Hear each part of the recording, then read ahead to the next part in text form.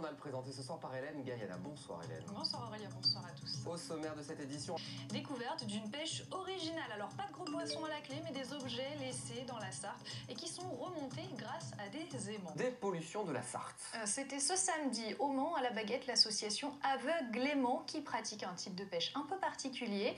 Et parmi leurs euh, trouvailles, les vestiges d'un ancien pont manceau détruit lors de la Seconde Guerre mondiale. Anthony Piton nous raconte ça. Sur la main à Cyril. Chaque week-end, ils dépolluent les cours d'eau à l'aide de leurs aimants. Samedi dernier, c'était au Mans, sur le pont Issoire, que ces 25 gros bras ont posé leur ligne. En fait, on a une corde avec à l'extrémité un aimant super puissant avec lequel en fait on peut venir euh, en fait trouver même ce qui est dans la vase, mais la ferraille même qui est dans la vase.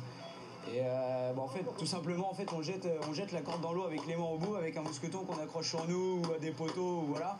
Et en fait, on sort tout ce qu'on peut sortir de l'eau, tout ce qui est métallique, tout ce qu'on peut sortir, on le sort de l'eau. Et la pêche est fructueuse. En quelques heures, ce sont des centaines de kilos de fer, de fonte et d'acier qui sont sortis de la Sarthe.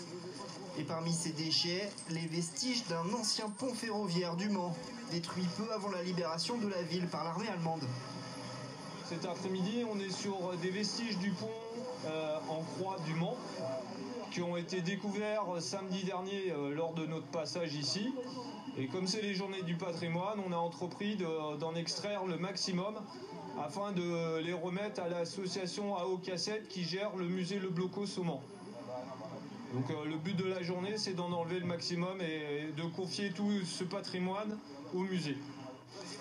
L'association Aveuglément recherche des bénévoles. Ils sont en Sarthe tous les samedis et les dimanches dans le Maine-et-Loire.